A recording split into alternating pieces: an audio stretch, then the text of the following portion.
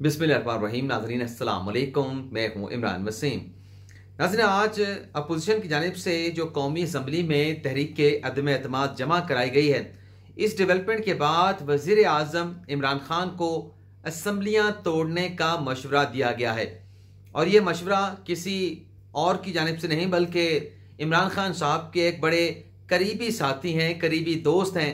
उनकी जानब से असम्बलियाँ तोड़ने का मशवरा दिया गया है। लेकिन खान साहब को जब यह मशवरा दिया गया तो मशवरा देने वाले दोस्त ने असम्बलियाँ तोड़ने का क्या जवाज़ इमरान खान साहब को पेश किया? और ये मशवरा देने वाला वज़ीर अजम इमरान खान का करीबी साथी कौन है? ये तफसीत आपके साथ शेयर करेंगे। और दूसरी नाजिन आज की हमारी खबर यह है कि छः बजे जो आसिफ अली जरदारी ने मौलाना फजल रहमान और शिवाशिफ के साथ प्रेस कॉन्फ्रेंस की है, इस प्रेस कॉन्फ्रेंस में आसिफ अली जरदारी ने एक पेश गोई की है, लेकिन चार घंटे गुजरने के बाद आसिफ अली जरदारी की वो पेश गोई दुरुस्त साबित हुई है। आसिफ अली जरदारी ने पाकिस्तान तरीके इंसाफ से मुतलक प्रेस कॉन्फ्रेंस करते हुए क्या पेशन गोई हुई थी, ये तफसीत भी आपके साथ शेयर करेंगे। लेकिन मजमू तौर पर आज जो तरीके अदम अतमाद हुकूमत के खिलाफ जमा हुई है और उसके बाद जो तीन बड़ों ने मौलाना फजल रहमान ने शहबाशिफ ने और आसिफ अली जरदानी ने प्रेस कॉन्फ्रेंस की है। इस प्रेस कॉन्फ्रेंस के बाद 8 मार्च के जो आखिरी पाँच घंटे हैं, उसमें डिवेल्प हुई आठ अहम तरीन खबरों की तफसीत आपके साथ शेयर करेंगे। नाजिन जैसे ही ये प्रेस कॉन्फ्रेंस आसिफ अली जरदारी की शहबाशिफ की और मौलाना फजलरमान की ख़त्म होती है, इकतदाम पजीर होती है तो सात बजे के बाद एक खबर टेलीविज़न चैनल पर चलना शुरू होती है। कि चौधरी शुजात हुसैन, अपने बेटे शाफे हुसैन के साथ और तारिक बशीर चीमा के साथ मौलाना फजलमान की रिहाइश गाह पर पहुँचते हैं। अच्छा यहाँ पर जो अंदरूनी कहानी है इस मुलाकात की, वो सामने आई है, सामने नहीं आई। लेकिन जो चीज़ नोट करने की है, वो ये है कि जब चौधरी साहबान के घर मौलाना फजलरमान तशरीफ़ ले गए, आसिफ अली जरदारी तशरीफ़ ले गए शहबाशिफ तशरीफ़ ले गए वज़ीर आज़म इमरान खान तशरीफ़ ले गए तो काफिले की जानब से कहा गया कि हमारे घर के दरवाजे तो सबके लिए खुले हैं। जो भी आता है, हम उसे खुश आमदीद कहते हैं वेलकम कहते हैं, लेकिन हम हुकूमत के साथ खड़े हैं। लेकिन परवेज इलाही साहब कुछ और बयान देते रहे।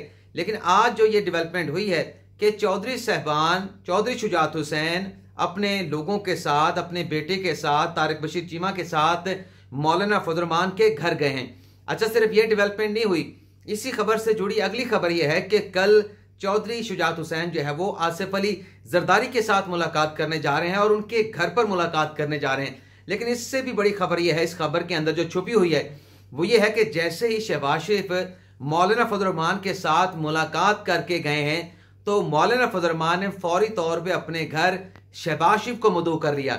शहबाज शरीफ की फिर मौलाना फजलरमान के साथ बड़ी तवील और एक अहम नशस्त हुई है। अब आप ये कड़ियाँ मिला लें कि पंजाब में जो जहांगीर तरीन ग्रुप के बाद अलीम खान ग्रुप सामने आया है और उसके बाद जो एक वर्थ है काफले के, उस पर थोड़ा सा क्वेश्चन मार्क पैदा हुआ है।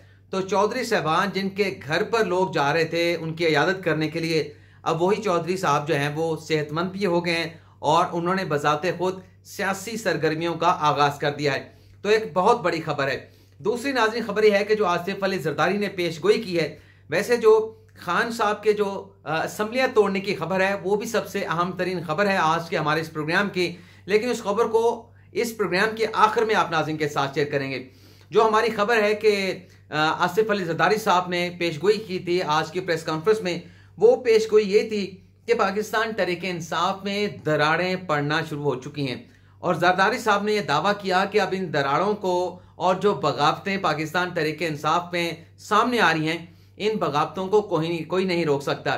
तो आज पंजाब में नई बगावत ये सामने आई है कि एक नया नाराज़ ग्रुप दरीना नाराज़ ग्रुप सामने आया है, जिसे उस्मान बुजार साहब ने पहले राज़ी कर लिया था, उनके साथ बातचीत हो चुकी थी, लेकिन अब चूँकि सियासी माहौल एक मरतबा फिर गर्म हुआ है तो वो बारह अरकान का पंजाब असम्बली का नाराज़ ग्रुप एक बार फिर सामने आया है, और उसने भी अपने नाराज़ अरकान का कल पंजाब के कैपिटल लाहौर में इजलास तलब कर लिया है। तो ये भी एक एक्स्ट्रा दबाव जो है वो पाकिस्तान तरीके इंसाफ पे होगा और मरकजी हुकूमत पे होगा और उस्मान बुजदार पे होगा। लेकिन इससे बड़ी खबर, हमारी दूसरी खबर के अंदर ये है कि यार मोहम्मद रिन, जो कि पाकिस्तान तहरीक इंसाफ के हिस्सा तो हैं, लेकिन हिस्सा नहीं है। उन्होंने इमरान खान साहब के जो मामले खसूसी होने का अहदा था वो छोड़ दिया और उसके बाद उन्होंने आसिफ अली जदारी के साथ मुलाकात की, बाप के लोगों के साथ मुलाकात की। और आज डेवलपमेंट ये हुई है कि जो आसिफ अली जरदारी ने पेशगोई की है, इसके सिर्फ़ तीन घंटों के बाद यार मोहम्मद रिंद की इस्लामाबाद की रहायशगाह पर बाप के जमात के जो लोग हैं बीएपी के जो लोग हैं, जिसमें जाम कमाल सबक वजी बलोचिस्तान है, उन्होंने मुलाकात की है। इस मुलाकात में वजी बलोचिस्तान के खिलाफ तहरीक के अदम अतमाद लाने के मामले पर गौर किया गया और जो मरकजी हुकूमत के खिलाफ तहरीक के अदम अतमाद लाई गई है, उस पर भी गौर वौस किया गया।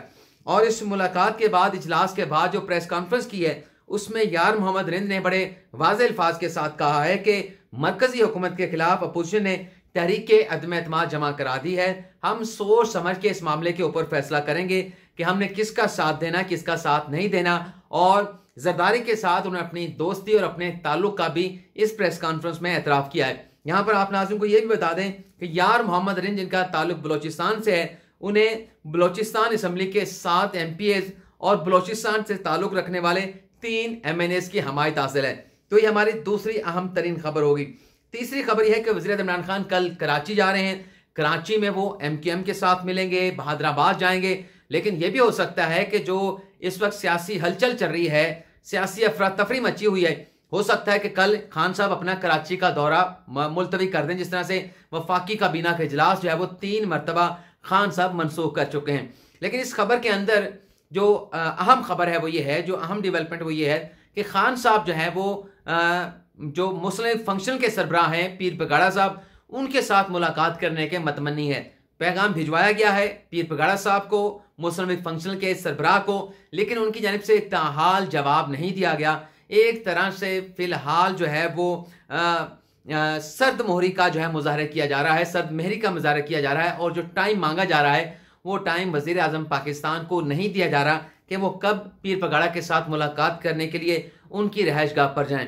तो ये एक अहम खबर है। इसके अलावा जो अगली खबर है, वो ये है कि जहांगीर तरीन ग्रुप का रद्द अमल भी सामने आया है, जिसमें उन्होंने ये वाजे तौर पर कह दिया है कि जो भी फैसला होगा, हम फैसला जहांगीर तरीन के साथ मुशावरत से करेंगे। लेकिन जो तहरीक अतमाद की सूरत हाल बनी है उसमें अभी तक ताहाल कोई फैसला नहीं किया गया कि हमने हुकूमत को सपोर्ट करना है या अपोजिशन को सपोर्ट करना है। लेकिन पंजाब के अंदर सूरत हाल काफ़ी वर्ष हो चुकी है। जिस जो भी फैसला खान साहब लेते हैं, अगर अलीम खान को बनाते हैं वज़ीर अला पंजाब तो तब भी पंजाब उनके हाथ से जाएगा।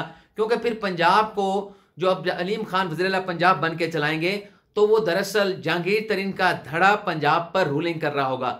और अगर परवेज इलाही को बनाते हैं तो उस सूरत में मुस्लिम काफ जो है वो पूरे पंजाब के ऊपर पाँच या चार, सात नशस्तों के साथ जो है वो हुक्मरानी कर रही होंगी।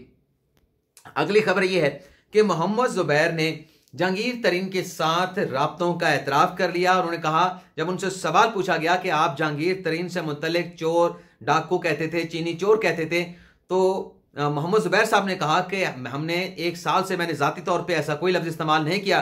लेकिन हम इसलिए चीनी चोर या चोर, डाकू, लुटेरा चीनी स्कैंडल के हवाले से कहते थे, हुकूमत ने यह इल्ज़ाम लगाया था। हम तो उसी को दोहराते थे कि आपने एक चीनी चोर के ऊपर इल्ज़ाम लगाया और फिर उसे एनआरओ दे दिया और आप हमें एनआरओ देने देने की बातें कर रहे हैं। इसी तरह से जो मियाँ जवेद लतीफ़ साहब हैं। अच्छा जो असल खबर है, मेन स्टोरी उस पर भी अभी मैं बड़ी, थोड़ी देर के बाद आ जाऊँगा। अलीम खान को वजी अला पंजाब बनाने की मुसमिक नवाज़ के जो एम एन ए हैं, मियाँ जावेद लतीफ़ उनकी जानब से हमायत कर दी है। मियाँ जावेद लतीफ़ ने यह कहा है कि अगर उस्मान बुजदार को एक सरदार को हटाकर अगर चौधरी किसी को वज़ीर अला बनाना है तो उससे बेहतर है कि अलीम खान को वज़ीर अला बना दिया जाए। लेकिन उन्होंने कहा कि मेरी राय है, हतमी फैसला नवाज़ शरीफ करेंगे।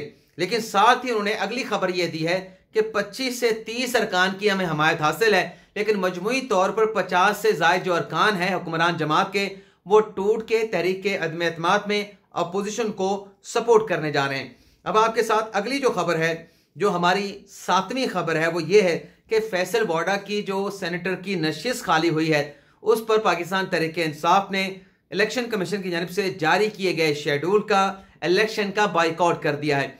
अब इसके बाइकआउट की वजह साफ़ नज़र आ रही है कि सिंध असम्बली में पाकिस्तान पीपल्स पार्टी की वहाँ पर मेजोरिटी है, जब फैसल वाडा साहब ने एम एन ए की सीट छोड़ी थी, उस सीट को पाकिस्तान पीपल्स पार्टी ने जीत लिया। तो एक तो कौमी असम्बली की नशिश चली गई। उसके बाद फिर फैसल वाड़ा साहब को सेनेटर बनाया गया था। लेकिन फैसल वाड़ा साहब अपने कंडक्ट की वजह से और बार बार जो एक लेटर उनसे मांगा जा रहा था, अगर वो लेटर दे देते तो उनकी नेक नियति साबित होती। लेकिन वो उस लेटर को छुपाते रहे लेटर पेश नहीं किया गया। सिंध हाई कोर्ट में, इस्लामाबाद हाई कोर्ट में, इलेक्शन कमीशन के सामने तो उनका अपना जो कंडक्ट था, वो मशकूक हो गया। तो उन्हें ताहयात नहल कर दिया गया। अब सिंध असम्बली में पाकिस्तान तरीके इंसाफ की मेजोरिटी नहीं है, क्योंकि एक सीट का जो इलेक्शन होना है, वो पूरी सिंध असम्बली में जो है वो होना है। और सिंध असम्बली के तमाम अरकान जब उसमें हिस्सा लेंगे वोटिंग डालेंगे तो वहाँ पर टू थर्ड मेजोरिटी के साथ जो है पाकिस्तान पीपल्स पार्टी मौजूद है।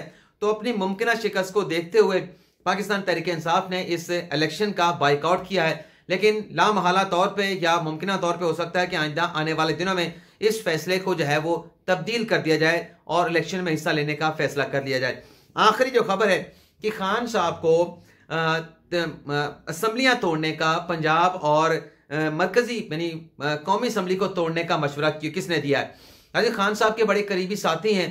खान साहब के साथ बैठ के वो उनकी टेबल पे वजी अजम ऑफ़िस में चाय पीते हुए उनकी एक पिक्चर भी मंजर आम पर आई थी और खान साहब की बड़ी वो तारीफ़ें भी करते हैं, उनकी ईमानदारी की तारीफ़ करते हैं। उनके कंडक्ट की तारीफ़ करते हैं। और पिछले कुछ ऐसे देखा गया है कि वो गवर्नेंस के हवाले से, माशी फैसलों के हवाले से, सफारती फैसलों के हवाले से वजी इमरान खान को क्रिटिसाइज भी करते रहे और वो करीबी साथी जो हैं, खान साहब के कोई और नहीं, बल्कि मारूफ तजियाकार साहब इर्शाद भट्टी साहब हैं। इर्शाद भट्टी साहब ने आज एक टेलीविज़न प्रोग्राम में खान साहब से कहा है कि खान साहब, कोई बड़ा फैसला कर लें। अगर आपने इकतदार के लिए अलीम खान को अपने साथ मिलाना है, जहांगीर तरीन को अपने साथ मिलाना है और जो आपके लोग बिकने के लिए तैयार हैं, दूसरों के पास जाने के लिए तैयार हैं, पैसे खाने के लिए तैयार हैं, वफादारियाँ बेचने के लिए तैयार हैं तो फिर खान साहब आप बड़ा फैसला करें। और इकतदार के लिए, चाहे मरकज का इकतदार हो, चाहे पंजाब के सूबे का इकतदार हो, आप फिर बड़ा फैसला करें।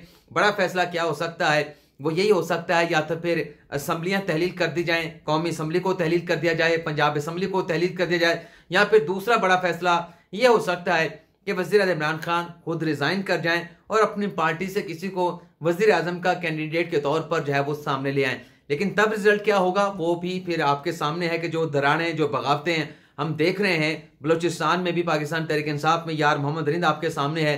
पंजाब में तीन बागी ग्रुप सामने आ चुके हैं और चौथा जो ग्रुप है, वो मुस्लिम नवाज़ के साथ इंगेज है। और मरकज में भी कुछ ऐसी सूरत हाल है और आज अट्ठाईस अरकान की फहरिस्त एक सिविल इदारे की जानब से इमरान खान साहब को पेश की गई, जिसमें इस शक का इजहार किया गया कि ये वो लोग हैं जो तहरीक अदम के आपके खिलाफ अपोजिशन को सपोर्ट कर सकते हैं। तो आपसे इजाज़त चाहेंगे। अल्लाह ताला आपका हामी नासर हो। दुआ में याद रखिए।